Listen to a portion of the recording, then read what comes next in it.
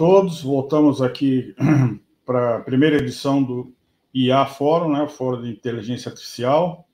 Agora, nos próximos painéis, vamos discutir a inteligência artificial para uso em áreas de negócio, em setores da economia, e daqui para frente a gente vai falar sobre um, um, painel bastante especial, que é o que vai ter a seguir, que é a inteligência artificial na saúde. A gente escolheu esse tema pela relevância né, da, que a área de saúde tem para o país e que tem alcançado nesses últimos tempos aí, em função da pandemia. Então, eu acho que um exemplo bastante é, eficaz e eloquaz do uso da inteligência artificial é o uso dela na, na própria saúde. Mas depois nós vamos falar sobre o uso no comércio, no varejo, nas finanças, é, atendimento ao consumidor. Então, eu creio que vai ser bastante explicativo como que a inteligência artificial pode, de fato, mudar os negócios, fazer essa transformação digital e trazer mais eficiência para as empresas. Eu quero relembrar que nós temos no painel dos nossos patrocinadores, eu gostaria que visitasse o, o, os stands dos nossos patrocinadores, melhor dizendo. Neles lá vocês podem se inscrever para o sorteio que nós teremos aqui ao final do evento.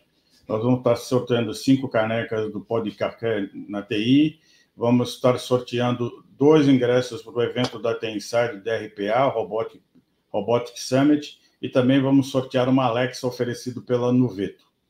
É, como eu falei na, na, no início do evento, é, essas lives estão todas gravadas, depois vocês receberão um e-mail para poder assistir a gravação delas, e também vocês receberão um questionário para fazer uma pequena avaliação do evento e dar as suas sugestões.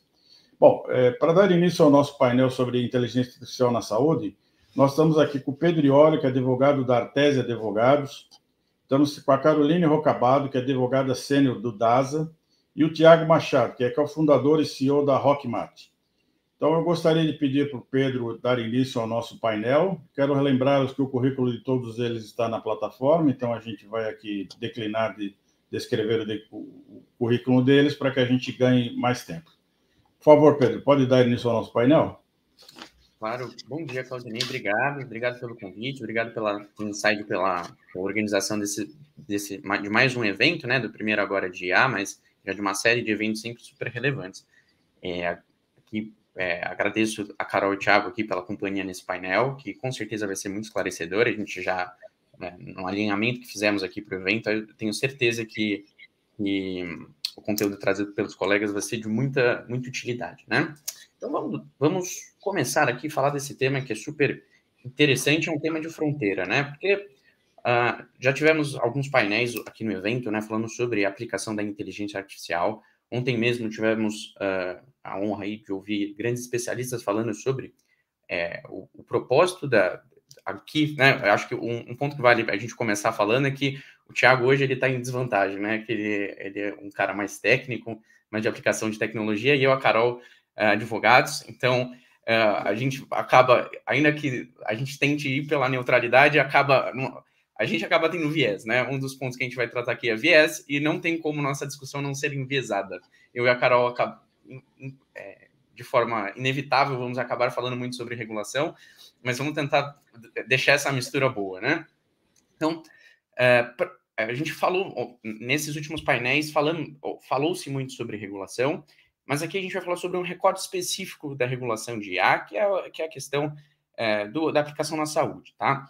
E por quê, né, que a gente está... É, esse é um tema que, que o Claudinei mesmo salientou, que ele é muito importante, mas no âmbito da IA, ele tem alguns temperos especiais, algumas questões, é, alguns pontos de atenção que a gente vai trazer aqui para vocês, tá? Então, eu vou começar aqui falando um pouquinho dos usos que a gente tem notado, né?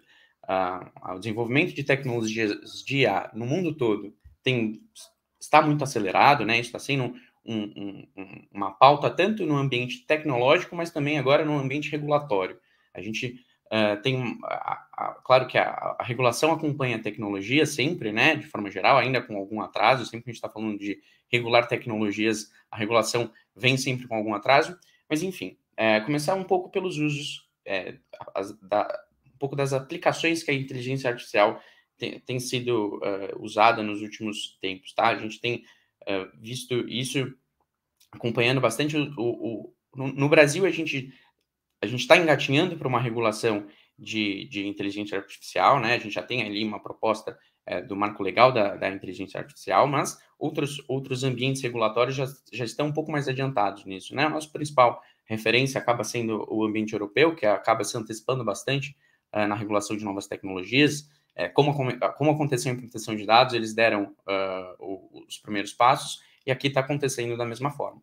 E essa, essa regulação inicial da Europa, ela nos, nos destaca alguns pontos de preocupação, é, isso com base nas aplicações. Então, falando um pouquinho para a aplicação de inteligência artificial no setor da saúde, a gente tem já muitos casos é, de aplicação no setor de pesquisa, né? Que, ou seja, aplicação da, da inteligência artificial para o desenvolvimento de novas drogas, de tratamentos, né, de medicamentos. Isso tem tido é, resultados extremamente positivos, especialmente no que diz respeito ao custo uh, e à velocidade de desenvolvimento desses tratamentos, tá? Então a gente tem uh, uma o a pesquisa e desenvolvimento, né, tem sido uma frente muito importante na aplicação da, da inteligência artificial, tá? Então uh, aqui que a gente está falando de pesquisa e desenvolvimento é, é, é, um, é um ponto bastante específico, que ele se, ele se ele difere um pouquinho da aplicação uh, para o atendimento à saúde de fato. Né? Então, a gente está falando aqui de utilizar uh,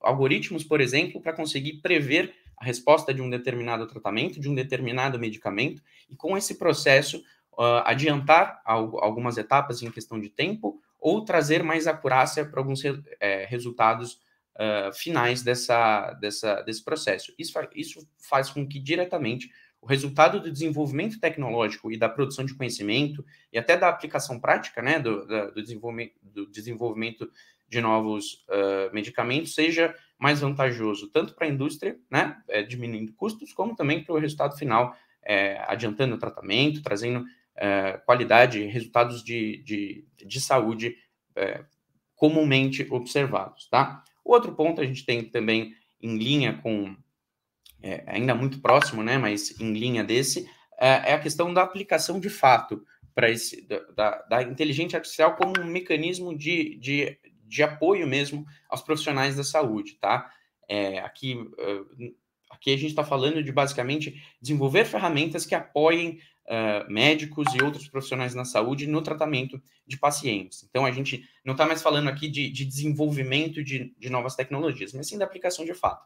E aqui é muito interessante, acho que a Carol vai poder a, abordar esse tema de, de forma um pouquinho mais específica, mas de que a, a inteligência artificial ela não vai substituir, claro, é, não se pretende hoje é, que, que, que, a IA propriamente substitua é, profissionais da saúde ou procedimentos de saúde, mas sirva como apoio a esses profissionais. E aí que está o, o, grande ganho de vantagem, e a gente já tem uma série de, de novas é, soluções é, sendo desenvolvidas nesse sentido.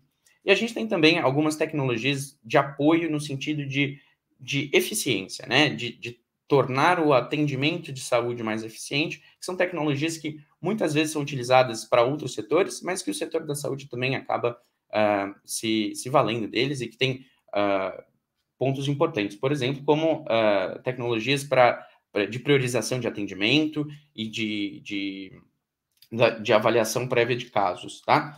Uh, então, tendo em, vista, tendo em conta esses usos, né, que, que, que, já, são, já são realidade, né, a gente já tem uma série de, de, de soluções focadas em pesquisa, uma série de soluções focadas em apoio a profissionais de saúde, uma série de soluções uh, focadas em, uh, em trazer esse, esse, aspecto mais de gestão. A gente tem alguns riscos que são comuns, né, que, que, que, que no, que na regulação de A eles são também são observados de forma geral, mas que aqui no, no ambiente da saúde a gente tem alguns uh, contornos especiais.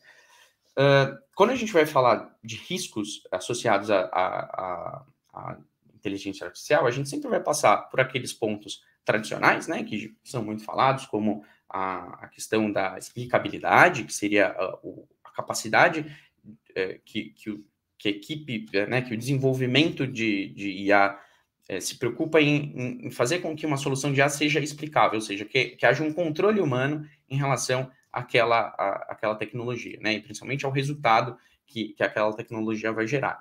Então, uh, isso de forma geral é sempre tido como uma preocupação primordial. Então, se eu estou desenvolvendo, se eu estou aplicando uma, uma, uma, uma solução de inteligência artificial, é importante que em alguma medida essa, essa solução seja acompanhável, vamos dizer assim, é, por, por, por humanos, para que haja controle dessa, dessa atividade, tá? Isso de forma geral, não só no, no ambiente da saúde, mas esse é um ponto é, muito comum, de, é, é, um ponto de, de preocupação que é exigido, inclusive, nas principais iniciativas regulatórias que eu vou falar um pouquinho mais para frente.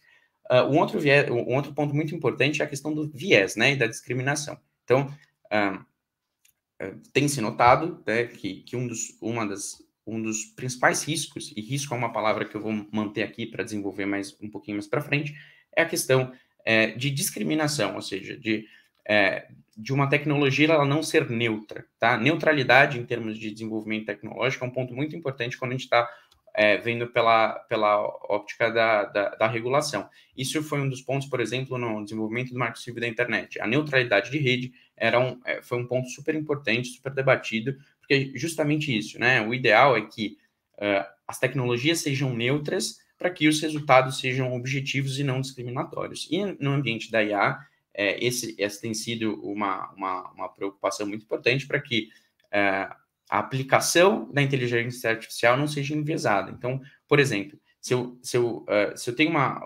uma, uma aplicação de IA que tem o objetivo de tomar decisões, é importante que, uh, em seu desenvolvimento, sejam adotadas as, todas as medidas é, possíveis e, e cabíveis para que a decisão tomada por essa, por essa aplicação ela seja neutra e ela não seja enviesada. Isso tem tanto uma questão é, prática de que é, para a própria finalidade de uso dessa tecnologia é importante que ela seja neutra, como também uma questão de discriminação para as pessoas que estão envolvidas nessa decisão. Seja para as pessoas que, por exemplo, no caso de dados pessoais, tiveram seus dados utilizados, para na tomada dessa decisão, seja pelas pessoas que são diretamente, diretamente afetadas por essa decisão. Porque muitas vezes, né, no caso de dados pessoais, é, diz respeito à própria pessoa a quais esses dados é, dizem respeito.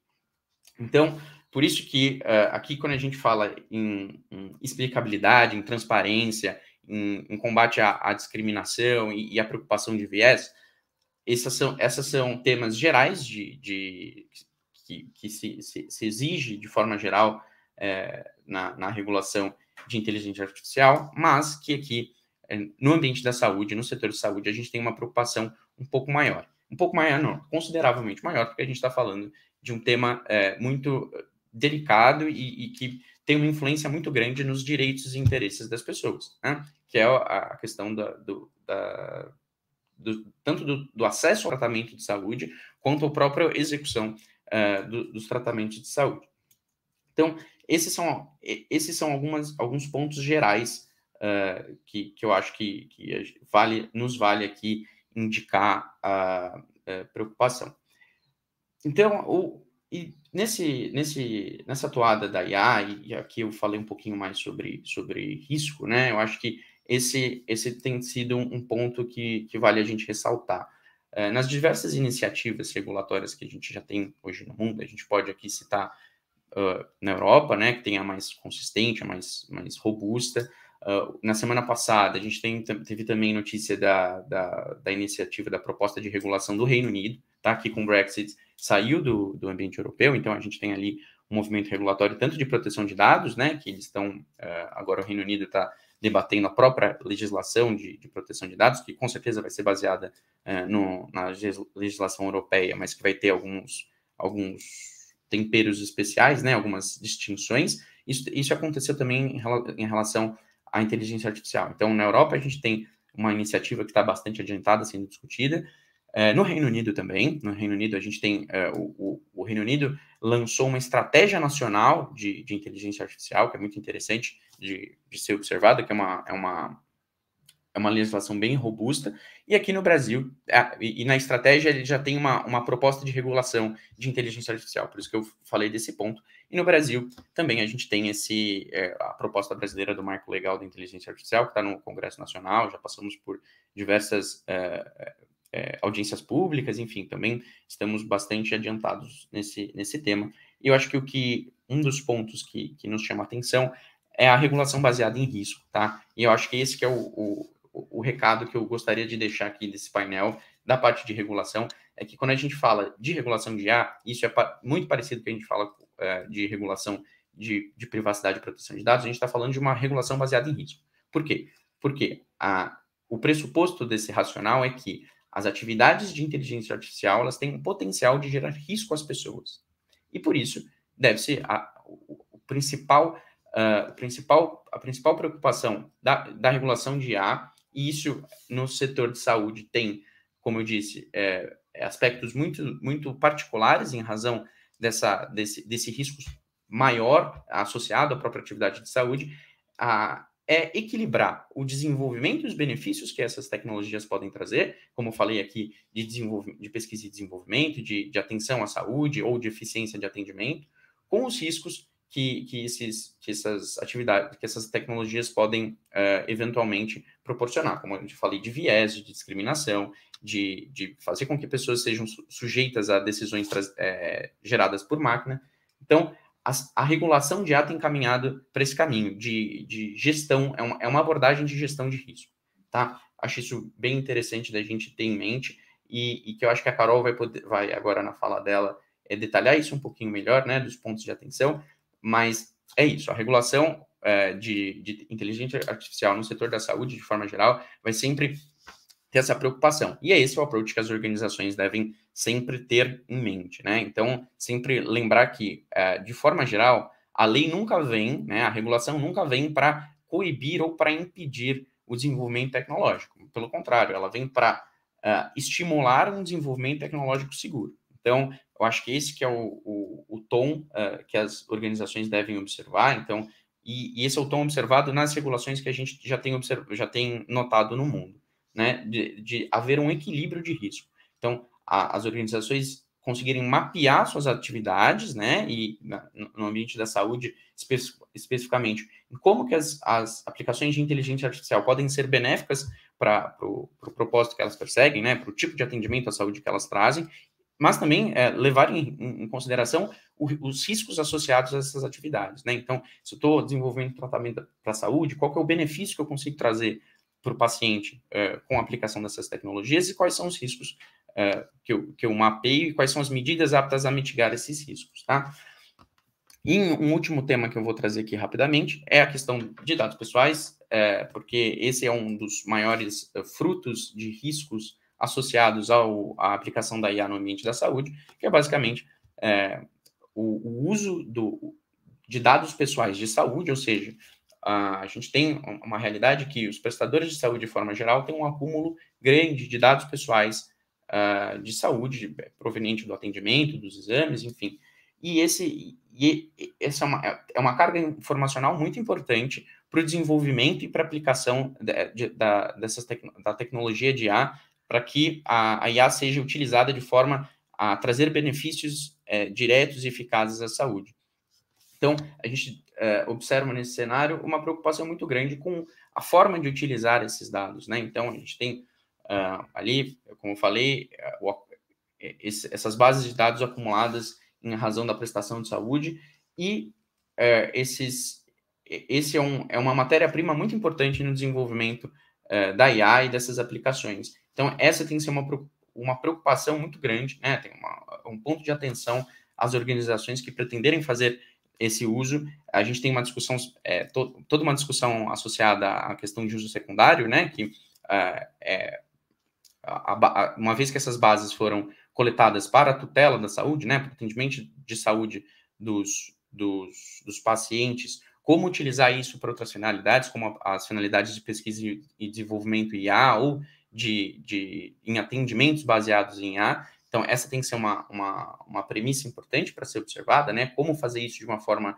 ética, como fazer isso de uma forma adequada. Lembrando que a LGPD está aí, a LGPD já está valendo e ela, e ela é aplicável a esse, a esse setor. Então, as, as tecnologias associadas à inteligência artificial, quando utilizarem dados pessoais, elas têm que observar a, todos o regramento trazido pela LGPD, e isso passa pelo uso secundário de dados pessoais.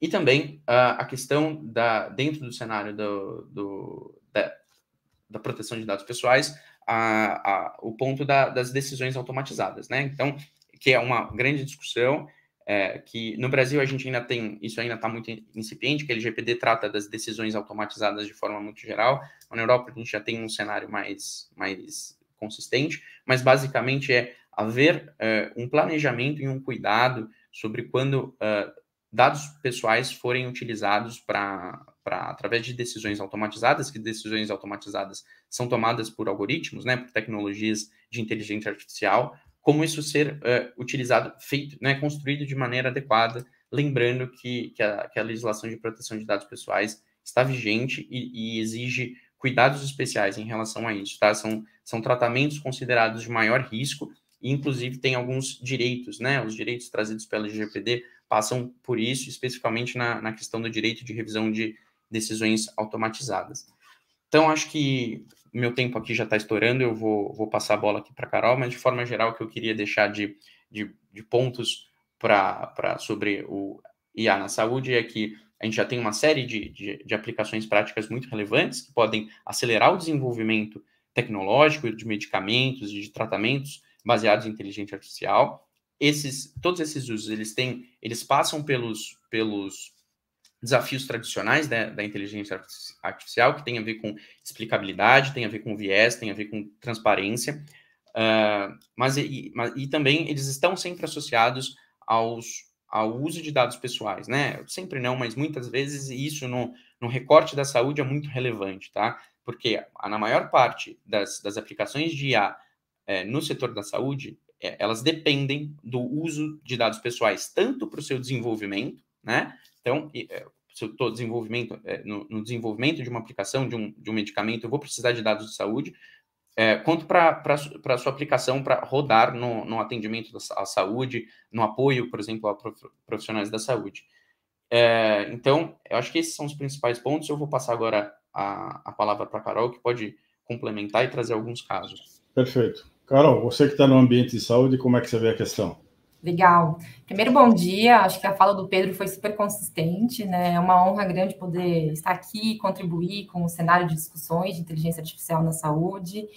É, eu aproveito para cumprimentar meus colegas de painel também e só enfatizar que todas as opiniões expressadas por mim nesse painel não vinculam a entidade em que eu trabalho. É, ontem nós tivemos uma explicação super sensata do professor César Taurion, né, sobre os usos da inteligência artificial e qual é o nível de maturidade que nós temos como país na aplicação. Tivemos a fala do Artese, da Loren, da professora Dora Kaufmann, que eu tenho uma grandíssima admiração e respeito. É uma das maiores profissionais de ciência de dados no Brasil, então trouxe discussões super relevantes para a gente refletir sobre efetivamente qual é a estratégia da inteligência artificial, se a gente ainda está no momento de carta de intenções ou se a estratégia ela é adequada, adequada para a complexidade que a gente tem como país. E todos os pontos que foram trazidos aqui pelo Pedro, fica claro que a discussão da regulamentação de inteligência artificial é mundial. Né? Não existe ainda uma legislação específica em vigor que consiga compreender todas as, as complexidades e aplicações da tecnologia, né? E nem setorial também. E eu gosto muito da fala da professora Amy Webb, que traz a gente para um panorama, uma visão menos distópica. A gente sai de um olhar que foi muito trabalhado, né, no inverno da inteligência artificial, esse olhar distópico, assim, bem muito de ficção científica mesmo, e não trazendo para as aplicações práticas e qual que é de fato a, a, importância do uso dessas tecnologias, né? Então, não estamos mais falando de uma tendência tecnológica, não é um termo que está em voga, não é uma distração temporária da nossa sociedade. Nós estamos, de fato, vivendo a terceira era da computação. Então, nós estamos no meio de uma transformação social descomunal, não, não muito diferente do que outras gerações viveram na Revolução Industrial. Então, isso nos traz também um olhar de de, de, responsabilidade como pessoas, né, que trabalham com o tema, também como cidadão de entender como eu estou inserida nessa realidade tecnológica. O Pedro trouxe vários exemplos aqui sobre aplicação na área da saúde, mas é, eu reforço novamente que a inteligência artificial ela é uma tecnologia dual. Isso quer dizer que ela vai trazer uma série de benefícios para a sociedade, assim como riscos. E a importância é que esses riscos sejam administrados e mitigados e principalmente conhecidos. Porque o grande objetivo é garantir que esses sistemas eles sejam legais, seguros e confiáveis e que tenham a garantia né, de respeito aos direitos fundamentais do, do indivíduo. O professor professor bom, acho que é, não lembro de qual universidade que ele é, ele fala que principalmente a inteligência artificial é uma governança sociotécnica. Então, existe toda uma parte operacional do sistema até a ação humana e o impacto na sociedade. E aí, quando a gente traz, trazendo agora para a área da saúde, nós temos duas aplicações, né? A inteligência artificial, ela tem toda a parte sociotécnica de desenvolvimento do modelo, treinamento do modelo, entendimento dos vieses, preconceitos e riscos que estão embutidos nas bases de dados que alimentam os modelos, mas também nós temos uma outra parte humana fundamental, porque a abordagem na saúde, ela é uma abordagem consequencialista, ou seja, nós lidamos com vida, e isso é muito importante na nossa atividade profissional, isso é, é o que rege toda atividade profissional de quem está na saúde. Então, essa importância de ter o olhar para a tecnologia, em como ela está sendo desenvolvida, monitorada, quais são os controles internos que estão aplicados à governança na tecnologia, mas também toda a outra parte de letramento digital dos profissionais de saúde que vão manipular essa tecnologia, entendendo que as, a a inteligência artificial na saúde, ela vem trazendo, trouxe, né, vem, vai trazer e vem trazendo grandes benefícios na atenção à saúde. Então, não é o objetivo tomar uma decisão, uma decisão sozinha, né? Não é uma substituição da atividade médica, muito pelo contrário, é um complemento da atividade médica. Os modelos que existem de inteligência artificial na saúde, eles possuem uma supervisão humana do profissional, profissional de saúde. E isso é muito importante para que a gente entenda a aplicabilidade. Exemplos que eu vou trazer para vocês agora de o HCOR, recentemente fizeram um exemplo público incrível de separação de gêmeas siameses que estavam coladas pelo tórax. Eles conseguiram fazer esse nível de complexidade de cirurgia porque colocaram todos os exames das bebês numa realidade virtual para projetar exatamente onde estavam os órgãos, como que aquilo poderia ser, a cirurgia poderia ser feita. Então, sem a inteligência artificial, dificilmente teria um êxito nessa cirurgia. Assim como o caso da Robolaura, que foi o caso de um pai que perdeu a sua filha, né? Ela, ela morreu de forma prematura, com uma sepse, que é uma infecção generalizada, e a partir do ocorrido, o pai dela desenvolveu um robô que hoje ele tem o objetivo, né, de... É o primeiro robô de gerenciamento de riscos para identificação de sepse em hospitais para entender que existe um grande valor, existe uma grande premissa de trazer benefícios na atenção à saúde. E nós também precisamos entender que quando falamos de uma governança sociotécnica, neste momento né, da preparação da base de dados que vai ser utilizada para os modelos, a importância dos riscos que existem e como eliminar vieses nos dados, né, os preconceitos embutidos nos dados. Uma coisa muito importante que o professor Chiavegato da USP traz é os algoritmos, eles aprendem com os históricos dos dados. O algoritmo não sabe o que é preconceito, ele não sabe o que é machismo, o que é diversidade, o que é uma doença. Por esse motivo que é tão importante que o processo de parametrização, de validação do algoritmo, da curadoria da base de dados, seja realizado, né, para não replicar preconceitos e vieses humanos no modelo que será utilizado, seja na saúde, na educação, setor bancário, qual for. O grande objetivo, a eliminação desses riscos, é que se consiga identificar dentro dessa base de dados esses vieses e como você mitiga, como é que você consegue, como é que você entende que ali naquela aplicação existe uma amostragem reduzida para subgrupos? E qual é o impacto que isso pode trazer, qual é o aumento de desigualdade quando a gente tem risco de tomar decisões em grupos com mais dados ou seja, pessoas com maior poder aquisitivo terem mais dados e, consequentemente, melhor tratamento, ou mais atenção numa educação, no crédito. Como que é possível mitigar a amostragem reduzida para subgrupos nas bases de dados? Quais são os mecanismos de governança e controle que as organizações têm, privadas e públicas, né? Para que seres humanos não forcem algoritmos a serem preconceituosos, as validações técnicas, os processos que foram colocados, né? Dentro da governança da, da, das organizações.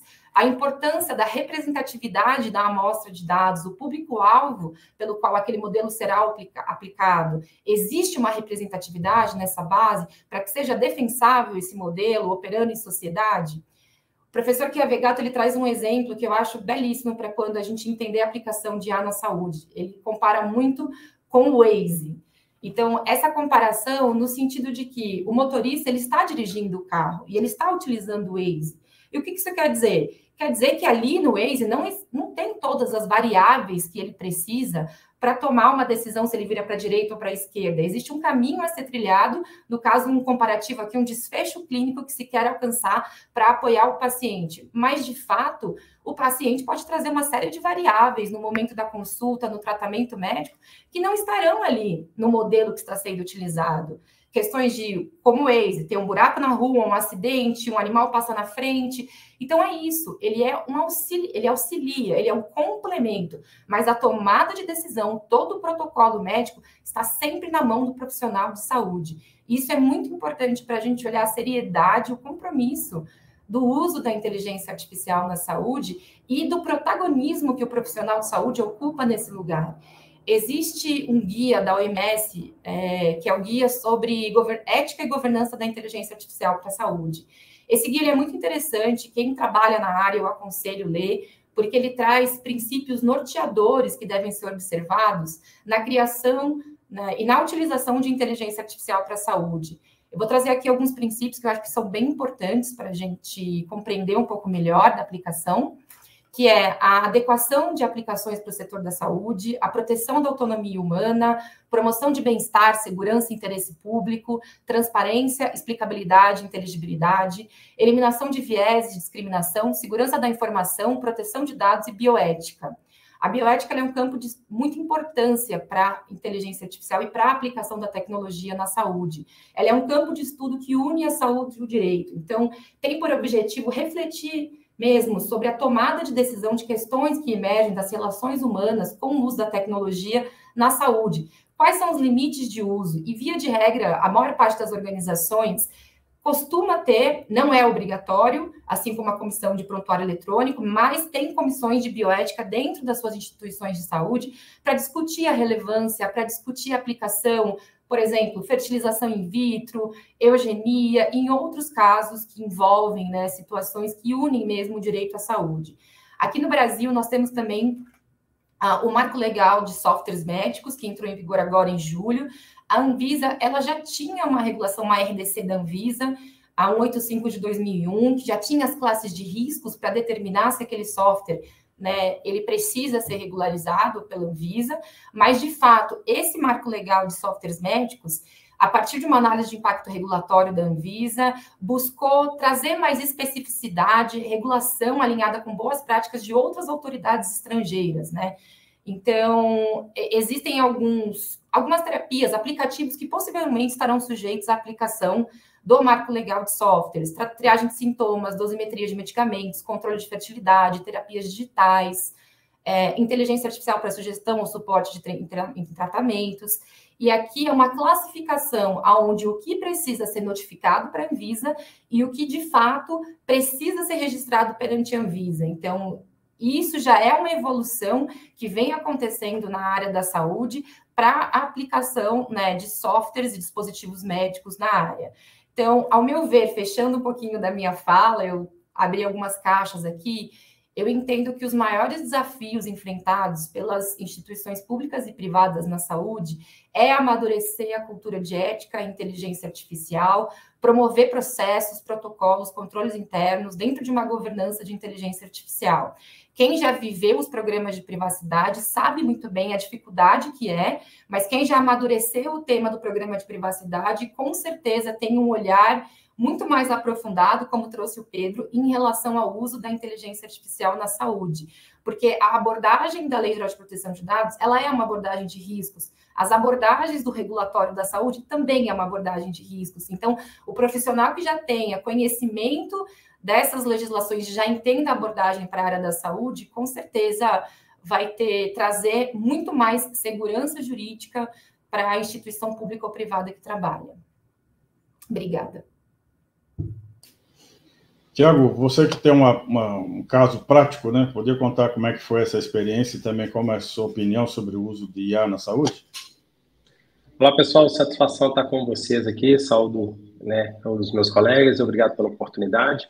Vou pedir para a gente já colocar nossa apresentação aqui para poder ilustrar um pouquinho dos, do, do que a gente tem visto.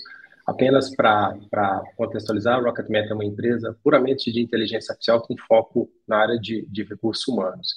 E aí, é, vou sintetizar um pouco do que, que é a, a, filosofia, como é que ele é formado, a estrutura, e citar um caso que a gente atuou especificamente aqui no contexto da primeira onda e segunda onda é, é da, da pandemia.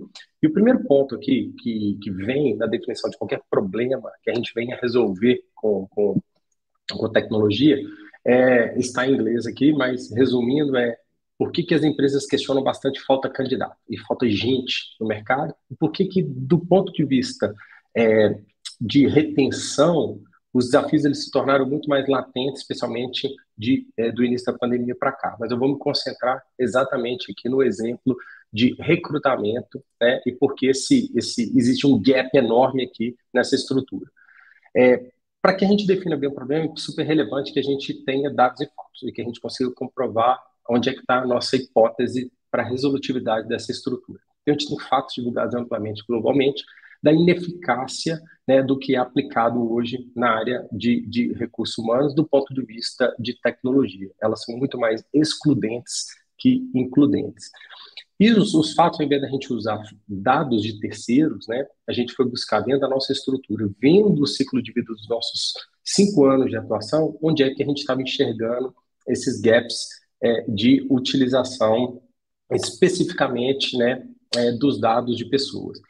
Importante ressaltar que é, quando a gente vai montar um algoritmo para uma empresa, a gente coleta o dado passado, treina o modelo e a partir disso a gente consegue, é, enfim, usar o que é o que é dado passado para prever o futuro é o princípio básico aí de, de machine learning. Quando a gente acessa os dados desses clientes via conexão API de forma totalmente anonimizada e garantindo a melhor regra de compliance e segurança, a gente consegue ver o que a gente chama dos, dos records, né, das gravações em base de dados. E aí, enfim, pegando sete é, é, exemplos aqui em clientes de diferentes segmentos, nos últimos praticamente aí cinco anos, a gente foi acessar nessa né? ondinha azul aqui o tamanho da base de dados do cliente na parte de, de, de, de currículos. E na parte vermelhinha aqui, a gente viu aquilo que o cliente nunca acessou dentro da base de dados, que não tem nenhum registro de acesso àqueles candidatos. Então, nós podemos ali, de certa maneira, fazer duas interpretações. Do ponto de vista das equipes de recursos humanos, eles não conseguiram acessar mais de 15%, né, em média, da, dos perfis e das pessoas disponíveis dentro da estrutura que eles têm ali de pessoas. Ou seja, eles não conseguem ver uma mostra matemática satisfatória de talentos disponíveis ali dentro. Então, há uma perda enorme de talentos. E do ponto de vista é, do candidato, ele é invisível dentro da base de dados. Então, a gente começa com um problema ali, tecnicamente, de processamento das informações. Quando a gente veio atuar no gráfico da direita, a gente conseguiu comparar que a gente analisou 100% das bases de dados, ou seja, é, e o aproveitamento é, de tornar o aproveitamento, claro, integral da base de dados, amplificando a jornada né, de inclusão e de oportunidade para as pessoas que estavam se aplicando ao processo seletivo por necessidade ou, né, assim, por uma questão de subsistência ou até mesmo por, no âmbito de buscar uma oportunidade melhor é, em termos de, de, trabalho. Então, a gente vê aqui na, na, máxima que a gente discute aqui do ESG, aqui é o ponto principal do social, onde a gente trata do objeto da inclusão. Ou seja, dá oportunidade para todos, igualitária, para que eles possam ter a oportunidade é, de entrar né, dentro do mercado de trabalho. Quando a gente fala da velocidade que isso precisa, né, e da responsabilidade, mais uma vez, que está inerente a isso, é, quanto menos tempo uma pessoa fica desempregada, mais é, é, é, o efeito econômico da gente poder distribuir renda. E para a instituição, é, você ter uma cadeira é, desocupada por muito tempo, isso é um problema de geração de riqueza e, enfim, de assistencialismo. E do ponto de vista de saúde, isso é extremamente relevante, porque isso é, está inerente àquilo que, é, mais uma vez, é de necessidade primária da sociedade. Então, pegando um exemplo aqui prático, né, um recrutador ele demora 45 segundos para triar um currículo. Perdão, 45 segundos médios para triar um currículo. E, enfim, quando a gente pôde observar uma base de dados muito voluntariosa em um cliente, a gente conseguiu processar mais de 900 mil currículos em 42 segundos. Então, nós não estamos falando só de olhar todo mundo e olhar todo mundo igual, mas ser extremamente rápido para que, mais uma vez, a gente consiga acelerar o ciclo de empregabilidade. E outro ponto fundamental na tecnologia empregada em pessoas é que quando você olha os blocos usando a matéria-prima principal que é o currículo, você concentra em duas informações que são primordiais, que são as experiências e, as educa e a educação das pessoas. Só que estão limitantes do ponto de vista qualitativo. Então a gente usa recursos para poder amplificar essa jornada, enriquecer esses dados, né, e criar milhares de outras correlações para aumentar a qualidade dessas informações. Então, exemplos aqui, por exemplo, um único currículo um único cliente, a gente conseguiu extrair mais de 3.800 informações de um único currículo. Então, isso empodera as equipes de recursos humanos a ter informações mais qualitativas para tomarem decisões. E aí, dados de pessoas, eles, eles, não foram feitos, né, quando eu falo de recursos humanos, não foram feitos para máquina. Então, há um efeito muito grande na fronteira que a gente está de transformação. E essa transformação de dados, ela requer que a gente tenha uma responsabilidade extrema. É, como os meus colegas citaram, a gente lida com vidas. Então, o erro tem que ser zero. Né? Então, ou seja, não dá para poder brincar ali com, enfim, né, com o que a gente tem, que é o nosso maior patrimônio, que é a vida. E aí, o ponto de vista que, academicamente, quando a gente discute a mitigação do viés, você tem três formas de se discutir. No pré-processamento, é garantir que nenhuma informação ela venha para a formação do algoritmo. É, informação sensível, por exemplo, gênero, CEP, idade, etnia, coisas básicas que já não se usa na formação de um algoritmo, ou quando você quer um, um, projeto exatamente assim de diversidade, você olha essas informações, mas diferentemente disso, isso não é utilizado. Durante o processamento do algoritmo, quando você descobre alguma fricção ali na base de dados, e depois do processamento, é, quando você coloca ali é, um algoritmo para poder auditar, né, é, para ver se durante o, o, o, ciclo de vida de utilização se está escapando ali alguma informação discriminatória da estrutura. Como é que a gente comprova isso, né? E já levando um pouco para o caso da saúde. É, um dos efeitos que a, gente, que a gente observou é na tradução dos títulos de cargo. Né? Quando você pega né, no efeito global o que está escrito né, no alfabeto, por exemplo, no inglês, e quando você traduz para o português, você vê dualidade na transformação das informações. E a gente viu que isso tinha um efeito enorme dentro né, de um espectro é, de, de, transformação. Então, por exemplo, você pega a palavra é, doctor, quando você transforma para profissão médico ou médica, existia um viés ali simplesmente no efeito de tradução.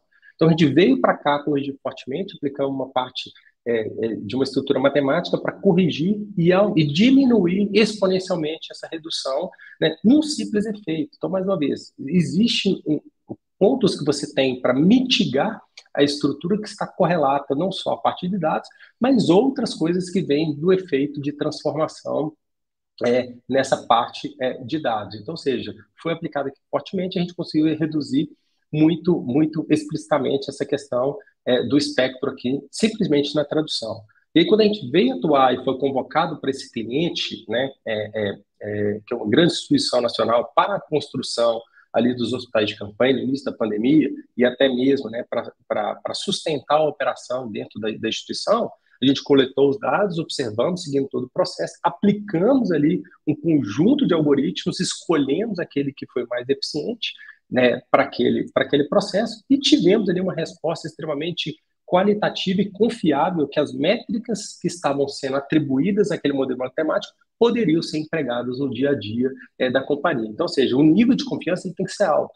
A gente não está tratando ali de um, de um, de um modelo prescritivo, dizer, contrate. A gente está dizendo um modelo que é preditivo. Eu recomendo que você olhe essa pessoa em detrimento da outra, porque ela possui um conjunto de qualidades, atributos técnicos e é, comportamentais que estão mais aderentes àquela posição naquele momento, o que não inviabiliza que ela esteja aderente para outras posições naquele momento.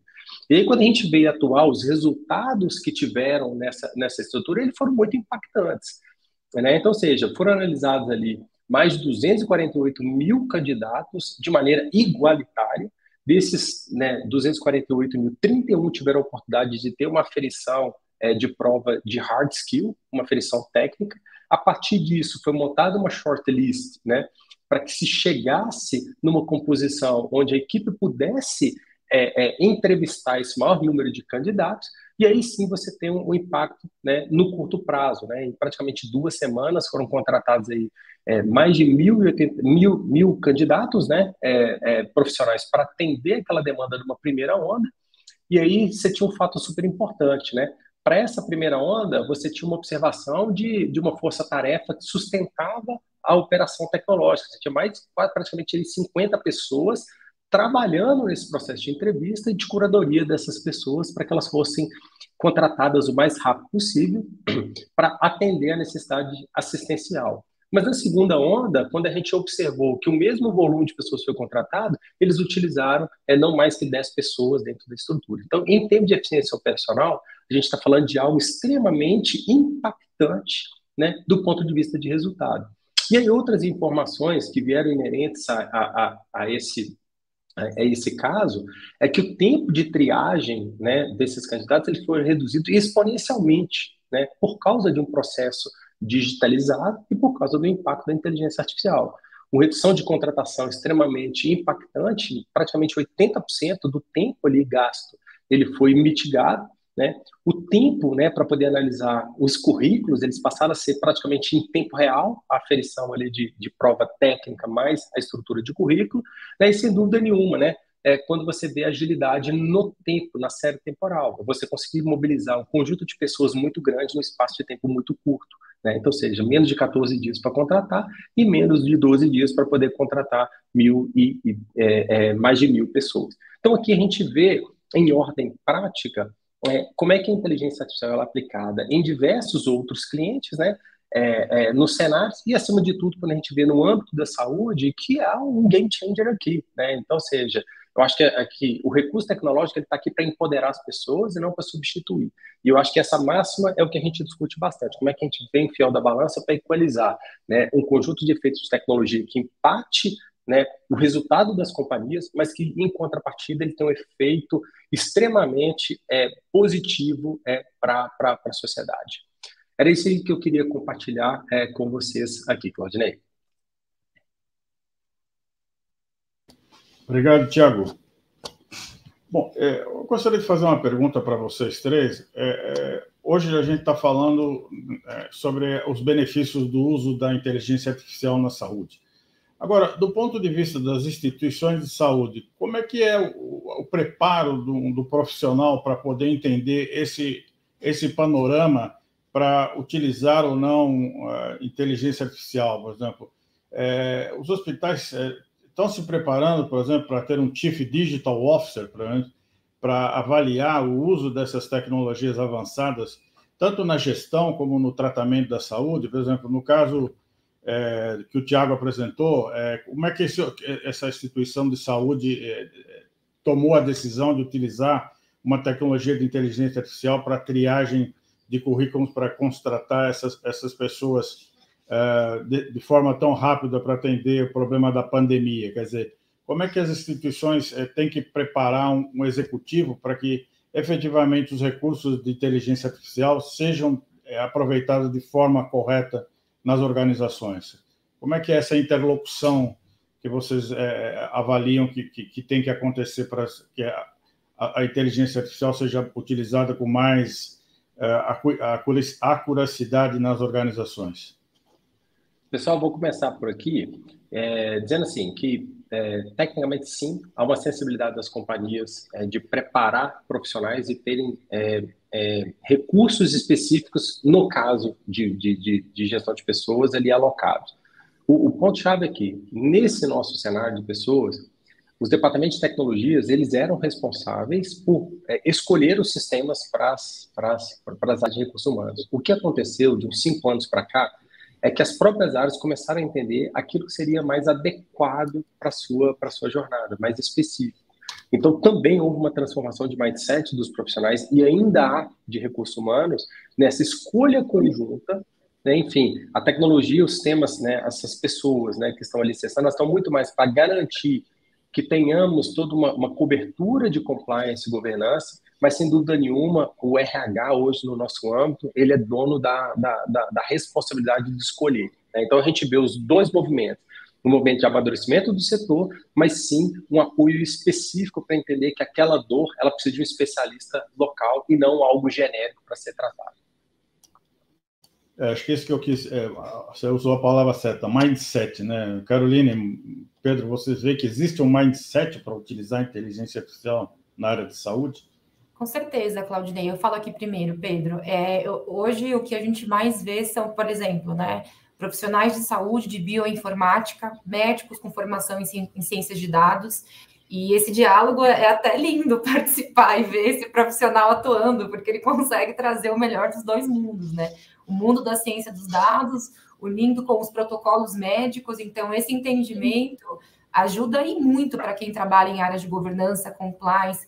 São profissionais que têm um papel, um diferencial gigantesco em trazer entendimento para a organização sobre a união dessas ciências. Então, vejo cada vez mais, assim, em, em, várias instituições de saúde, no âmbito público e privado, cada vez mais profissionais da área da saúde migrando para as áreas de tecnologia, assim como profissionais da área de tecnologia migrando para a área, né, é, da saúde, assim como nós, no caso aqui, o Pedro veio da área de tecnologia e está na área do direito, né? Eu me especializei em direito digital, então eu não fiquei só nas matérias de direito, fui me especializando em direito digital, privacidade e proteção de dados, cada vez mais inteligência artificial, porque a gente entende que o mundo hoje ele é multidisciplinar. E independentemente do, do lugar, né, da esfera hierárquica que o colaborador esteja, nós estamos passando por uma transformação digital. Então, isso nos demanda, como pessoas, como indivíduos, e principalmente inseridos em empresas públicas ou privadas, a entender que essa transformação digital ela vem de uma autorresponsabilidade nossa de buscar conhecimentos para aliar né, os saberes. O que o direito me trouxe não é o que vai conseguir me trazer daqui em diante como profissional. Então, eu precisei buscar outras ciências para complementar o meu conhecimento e conseguir aplicar isso na prática, assim como os profissionais de saúde o, o conhecimento na medicina não é suficiente muitas vezes para mergulhar numa ciência de dados, então migram para as áreas de dados. E eu vejo que esse movimento multidisciplinar do mercado, além dele ser riquíssimo, porque o profissional explora vários talentos diferentes, ele também é, soma muito na organização de ter um profissional mais completo e com uma visão mais multidisciplinar. Pedro, como é que você vê, por exemplo, você mencionou o caso dos cientistas que fazem pesquisas eh, para desenvolvimento de, de medicamentos, de tratamentos. Quer dizer, existe uma equipe multidisciplinar, o pessoal que está ali na linha de frente com o desenvolvimento, com viés técnico, se integra com o pessoal jurídico para ver se, obviamente, como está se falando, o viés está de acordo com a legislação, com o compliance. Você acredita que está havendo essa integração entre as os diferentes profissionais de uma instituição de saúde ou de pesquisa com o profissional da área legal? É, Claudinei. Sim, com certeza. Eu acho que esse, o tom que o, é, que o Thiago e a Carolina trouxeram é o, é, é, o, é o que está em voga, né? Da multidisciplinariedade, não só a, agora a decisão ela cabe a mais uh, pessoas, né? Agora não, um, um, profissional de TI não consegue sozinho como isso já foi possível, definir qual é o sistema que vai ser utilizado por uma área de negócio, e também a área de negócio por si não consegue é, tomar a decisão sozinha. Então, cada vez mais eu vejo que é um movimento de multidisciplinariedade, que exige tanto um trabalho conjunto de várias áreas, como que os profissionais dessas várias áreas consigam dialogar é, de maneira mais consistente entre si, né? Então, é o advogado que consegue falar a linguagem uh, do, do pessoal de TI, é o, o pessoal de TI, de, de tecnologia, que tem que entender o business e tem que entender a finalidade, ou seja, tem que, no, no caso do setor de saúde, tem que entender como que ali o pessoal do atendimento ou, ou do desenvolvimento, né, o Claudinei trouxe aqui a questão do desenvolvimento, como que, quais serão pelo menos as etapas desse processo para ver como que é, pelo, pela perspectiva de tecnologia, aquela tecnologia vai atuar no contexto para conseguir uh, fazer essa, essa essa intersecção da melhor, melhor forma possível. Então, acho que é, esse é o caminho. Tanto uh, a questão ficar mais multidisciplinar, no sentido de ter profissionais de várias áreas atuando e decidindo, como os profissionais dessas áreas, uh, naturalmente, uh, tendo que ter maior capacidade de, de dialogar com, com, com, um objeto que inicialmente não é o seu, né? não é, é da sua especialidade. Bom, pessoal, nós estamos chegando aqui ao fim da, do nosso painel. Quero agradecer a participação de todos vocês, apesar, apesar que assim o assunto teria muito, muito ainda para ser debatido, porque eu acredito que uma das áreas que está tá tendo maior inovação com o uso da tecnologia é a área de saúde, né? E a inteligência artificial tem um papel preponderante nisso, justamente para predição, tratamento, monitoramento dos pacientes. Então, eu creio que como a Carolina falou, novas regras estão vindo, novas, novas soluções É, a área é bastante inovadora e eu acho que a gente vai ver muita coisa nova acontecendo aí nos próximos tempos. Então, muito obrigado a participação de vocês e eu espero vê-los aí nos nossos próximos eventos. Muito obrigado, hein, pessoal? Obrigada, pessoal. Obrigado, pessoal. Bom dia para vocês.